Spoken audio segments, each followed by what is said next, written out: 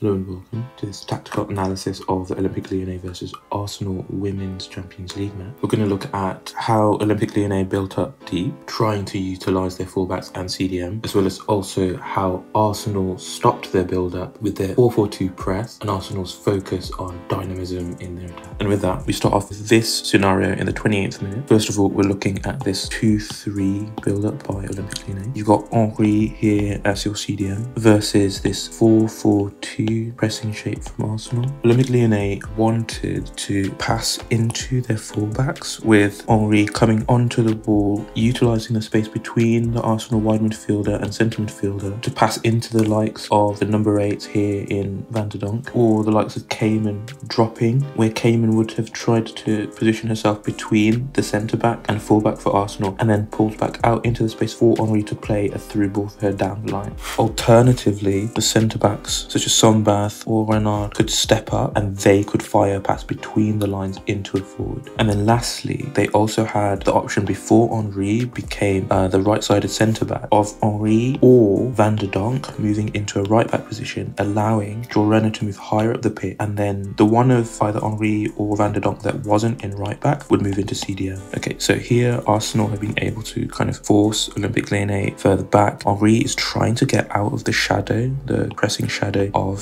Maanum. Maanum, who made this 4-4-2, uh, sometimes look like a 4-4-1, where she would drop onto the CDM and make it difficult for Lyonnais to pass into her specifically. After retreating to the goalkeeper and coming back across, Sombath is trying to set up that move where the fullback receives it and then they pass it back into Henry who then looks to play it into the wide area for Cayman. On this occasion, Maanum is tracking Sombath, and so Blackstenius is the one trying to track Henry. Okay, so here Henry didn't quite know just how close Blackstenius was. And so other Arsenal forwards anticipate a turnover and are going to look to pounce. So we see that here in anticipatory movements by both Foord and Mead, who given their proximity to their fullback and the fact that they're already starting to get into a counter-attacking position would allow them to hopefully get that extra yard of space. Unfortunately for Arsenal, they're not able to take advantage of Mead or Foord because this was adjudged to be a foul. Speaking of, the referee promoted Arsenal's aggression by just permitting their physicality. We're looking at scenario in 36th minute specifically because it shows us how Arsenal built up versus the 4-1-4-1 press from Olympique Lyonnais. So we have the 2-4 shape from Arsenal or 2-4-1-3 because Maanum kind of operated just below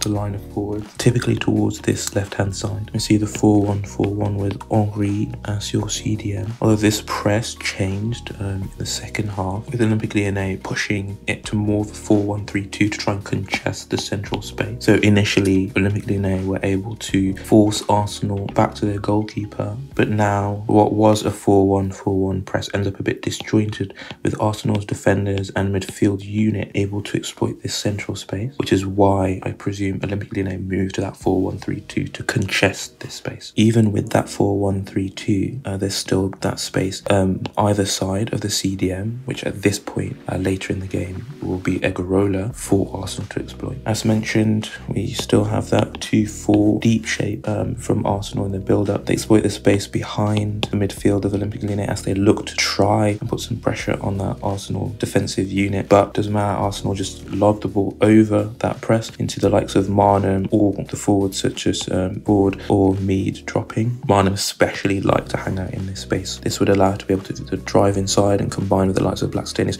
is looking to play on the shoulder, who wants to be released early. While Lyonnais were the champions of Europe last season, they obviously are depleted in this game. Um, and you could see that in how disjointed their defence and the midfield cover was. And so from the advantage that Arsenal got on this left-hand side, Foord is able to drive inside and looks to try and play the ball early for her other forwards um, in Beth Mead um, and Blackstenius. This sort of dynamism was the theme of the game for Arsenal. And looking at this scenario in the 81st minute, we're looking at what was essentially a 3-1 from Olympique Lyonnais, where their left back, so initially Bacha, but here Morroni, is the more attacking of the fullbacks and looks to try and combine in this left-hand side space with the likes of Malard and Horan or Le Sommer to try and create crossing opportunities from this left left hand side. Given that they moved Sombath, initially the right centre back, into a right back position because Jorena was really struggling against Foord, they didn't have her um, maraud up this right hand side as much. Lyonnais number eights, such as Horan um, or Van der Donk, would look to try and drop and present options for passes through the lines for the defensive unit. By this late stage in the game, it was against a 4 2